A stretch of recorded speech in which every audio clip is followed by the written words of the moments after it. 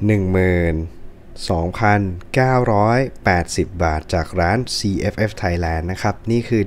WE Knife 608i Blue นะครับ 608 India Blue นะครับ WE Knife เป็นมีดแบรนด์จีนเนาะ กล่องเขาพิมพ์มาผิดนะครับ ข้างในเป็น 608i ทันโต Stone Watch Blade นะครับ เดี๋ยวเรามาดูข้างในกันเลย ราคารายละเอียดลิงก์สั่งซื้อนะครับ สเปคต่างๆ อยู่ใต้คลิปที่ description และพินคอมเมนต์ พี่ๆ ไปอ่านไปดูกันเพิ่มเติมตรงนั้นได้เลยนะ ผมให้ไว้ทั้งหมด อยากจะรู้ว่าซื้อที่ไหน ราคาเท่าไหร่ สเปคเป็นยังไง กดคลิกอ่านข้างใต้คลิป พี่ๆ รู้แน่นอนนะครับ กระเป๋า WE Knife made better ทำให้ดีขึ้นกว่าเดิมทำให้ดีทำให้ไวนะครับ ในนี้จะมีไขควงสำหรับไขหรือซ่อมบำรุงนะครับ เป็นไขควงดาวเฉพาะของเขาให้มาด้วยนะ แถมมาสารดูดความชื้นผ้าเช็ดมีด info card และตัวมีดนะครับ นี่มาแบบนี้เลยนะครับ มาดูกันนะครับ จริงๆ เจ้าตัวนี้จะมีความคล้ายคลึงกันกับอีกตัวหนึ่งก่อนหน้านี้ที่ผมได้รีวิวไปตะกี้เลยนะ ติดๆกันเลยนะครับ เดี๋ยวค่อยมาเทียบให้ดูว่ามันคล้ายกันต่างกันยังไงอะไรยังไงบ้างนะ มาดูกันที่เจ้าตัวนี้ก่อนก่อนอื่นก็คือ วัดน้ำหนักชั่งขนาดเออวัดขนาดชั่งน้ำหนักพูดผิดนะครับมาดูกันว่าน้ำหนักเท่าไหร่นะครับ หน่วยเป็นกรัมเนาะ151 กรัมนะครับ เหมือนจะหนักกว่าตัวที่เป็นใบ drop point หรือ spear point ประมาณกรัมเดียวเท่านั้น ก็จัดว่าเป็นน้ำหนักที่ไม่ได้ต่างกันเท่าไหร่ เพราะว่า กรัมเดียวเบามากนะครับ ลูกอมเม็ดหนึ่งหนัก 3 กรัม อันนี้หนักยังไม่ถึงลูกอมเม็ดหนึ่งเลยนะครับ ความยาวเมื่อพับอยู่นะครับที่วัดโดยคร่าวๆคือ 5 นิ้วหรือ 12.8เซนติเมตรนะครับแล้วมีดเมื่อกางออกมาโดยการใช้นิ้วดันตรงข้างใบก็ได้หรือว่า flipper tab ก็ได้นะครับ overall เมื่อกางออกมาอยู่ที่ 8.9 นิ้วหรือ 9 นิ้วนะครับ22.8เซนติเมตรเกือบ 23 เซนเลยนะ ใบมีความยาวอยู่ที่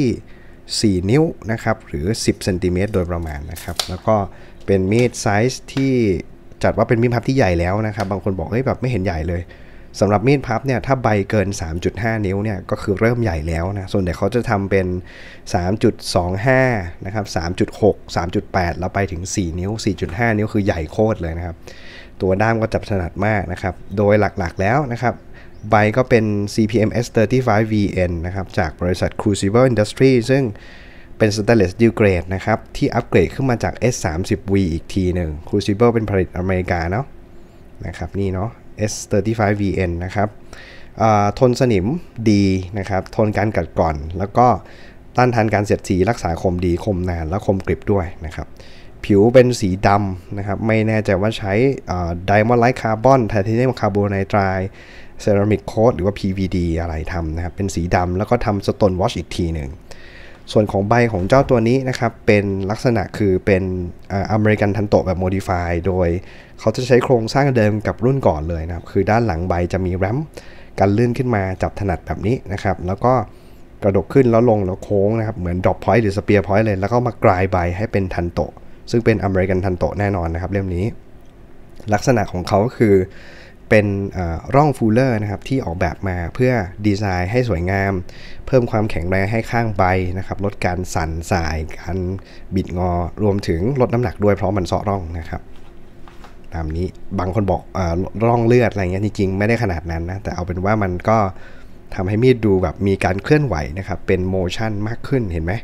คล้ายๆ กับมีดมันแบบกำลังคุยกับเราอยู่ว่าฉันกำลังจะขยับไปทางนั้นทางนี้อะไรประมาณนี้นะครับ ก็สวยนะครับส่วนการเจียใบขึ้นคมเล่มนี้เป็น High Saber Grind หรือจะเป็น Flat Grind ก็ได้นะครับ ถ้าไม่มีร่องนี้ขวาเนี่ยผมว่าเป็น High Flat หรือ Full Flat ซะด้วยซ้ำนะครับ ซึ่งลักษณะการทำแบบนี้ก็ทำให้มีดมีคุณสมบัติในการตัดสไลด์นะครับได้ดี เพราะแรงต้านทานข้างใบมันน้อยกว่าแบบscandi saber หรือแบบ convex อะไรแบบนั้นนะครับ ส่วนการขึ้นคมก็คือจะขึ้นคมตรงนี้เป็นแฟลตหลักนะครับแล้วตรงนี้ก็จะเป็นแฟลตอีกจังหวะหนึ่งโดยเราจะเห็น saber line ด้านหน้าตรงนี้นะครับอีกชั้นหนึ่งนะครับ เพราะว่าองศามันคนละมุมกันเนาะมันจะเป็นแบนเรียบมาตรงนี้ แล้วก็ตรงนี้ก็จะ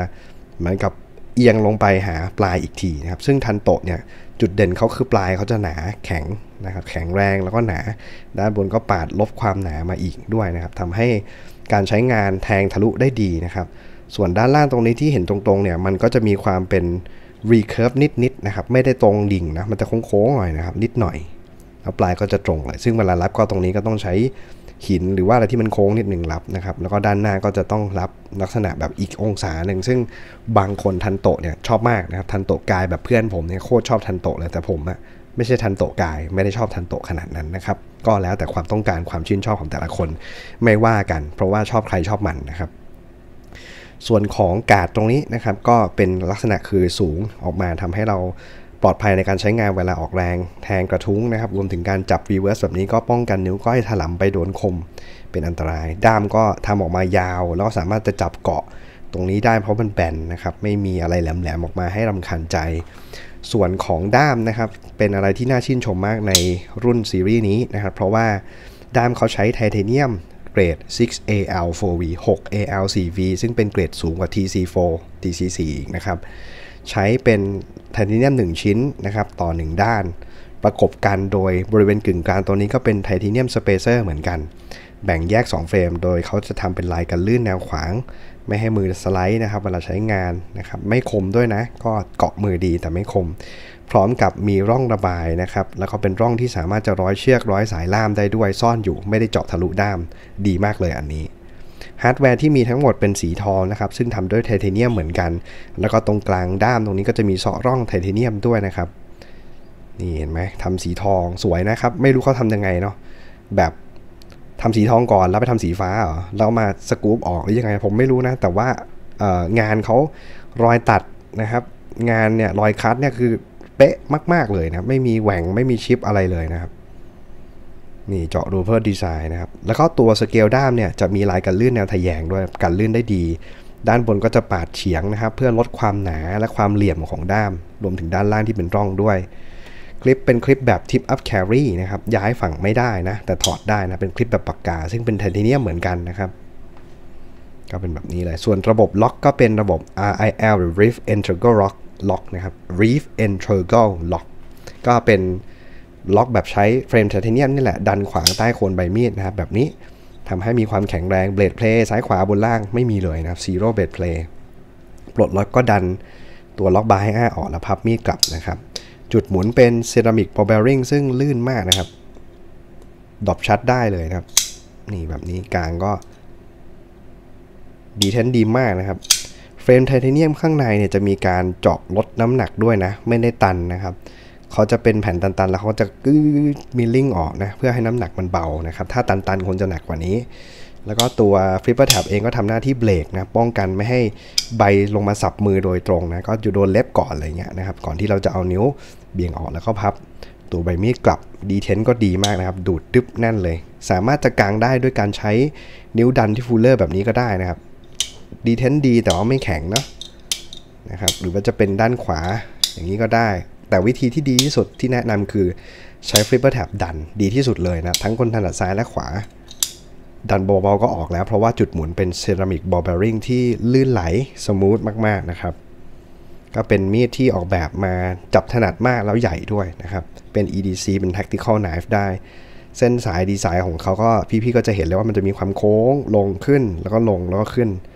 ตามลักษณะดีไซน์แบบนี้นะครับ ซึ่งผมชื่นชมมากๆเลยกับมีดลักษณะที่เป็น EDC ขนาดใหญ่แบบนี้นะครับ ออกแบบสวยมาก ผิวด้ามก็เป็นสี blue ทำ stonewash อีกทีนะครับ นี่นะครับแบบนี้เลย lock bar มี steel insert ป้องกัน lock stick ด้วยเพราะว่าไทเทเนียมไม่แข็งนะไทเทเนียมมันอ่อนนะครับ แต่มันยืดหยุ่นแล้วมันเบาทนการกัดกร่อนด้วยเขาก็เลยต้องสอดแผ่นสแตนเลสข้างในมานะครับ เพื่อป้องกันไม่ให้ไทเทเนียม lock bar มันไปบดกับตัวโคนใบมีดแล้วสึก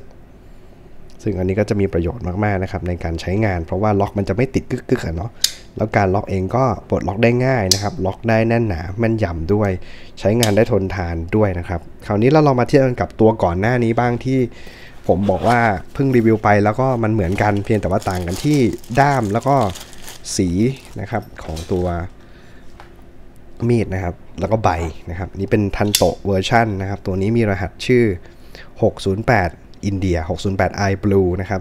ส่วนตัวนี้เป็น 608 E Echo นะครับ ก็จะเห็นว่าเขาจะมีความต่างกันชัดเจนตรงที่ทรงของใบนะครับ โดยตัวนี้จะเป็น Spear Recurve Flat Grind นะครับ หรือ High Saber ก็ตาม ส่วนตัวนี้จะเป็นทันโตะนะครับ มี recurve นิด ๆ เป็นอเมริกันทันโตะนะ ก็แต่ว่าด้าม feeling เนี่ยเหมือนกันเลยนะครับ จับแล้วก็ไม่ได้ต่างกันนะครับ เพียงแต่ถ้าเทียบกันเนี่ย จะเห็นว่าทันโตะปลายเขาจะมีความหนากว่านิดหนึ่งนะครับ แล้วก็ หน้าตาดีไซน์ก็แล้วแต่ใครชอบเลยว่าชอบทันโตะมากกว่า หรือว่าชอบ spear มากกว่า ส่วนตัวผมผมชอบทั้งคู่ แต่ถ้าให้เลือกได้อันเดียวผมชอบ spear มากกว่านะครับ นี่เป็นความชอบส่วนตัวนะ personal preference นะครับ ไม่เหมือนกัน แล้วก็ด้ามก็ชอบสีนี้มากกว่าด้วย อันนี้มันอาจจะดูแบบสปอร์ตไปหน่อยนะครับ เหมือน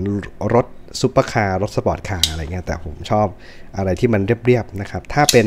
สีนี้แต่เป็นทันโตะก็ก็ดีนะ แต่ผมชอบ แบบนี้เลยนะครับ แบบนี้เลยทรงนี้เลยน่าจะโอเคกว่านะครับผมก็ถ้าชอบก็ลองตามลิงก์ไปได้เลยนะ ราคาผมแจ้งไว้แล้วนะครับว่าตัวนี้ 12980 นะครับ ส่วนตัวนี้ 12540 ตัวนี้ถูกกว่านะ เพราะว่าตัวนี้ทันโตมันรับธุรการมันเยอะกว่านะครับ ราคาไม่เท่ากันแต่ต่างกันนิดเดียวนะครับ 12980 กับ 12540 ต่างกัน 4-500 ประมาณนั้นไม่เกินนะครับ ก็ชอบก็ลองตามลิงก์ไปไปสั่งซื้อกันเองได้เลยนะครับ จากร้าน CFF Thailand และขอบคุณร้าน CFF Thailand มากที่เอื้อเฟื้อให้มีรีวิว มีด WE Knife CVV และอุปกรณ์อื่นๆนะครับ เรื่อยมานะครับ ขอบคุณพี่ๆทุกคนที่เข้ามาติดตามชมชมรีวิวกันอย่างเพลิดเพลินนะครับ แล้วก็คอมเมนต์กันอย่างสุภาพ แล้วก็แสดงความเห็นได้แค่ไม่กวนตีนนะครับ แล้วเจอกันใหม่อพิโซดหน้าสำหรับวันนี้ สวัสดีและขอบคุณครับ Happy r i d e n Out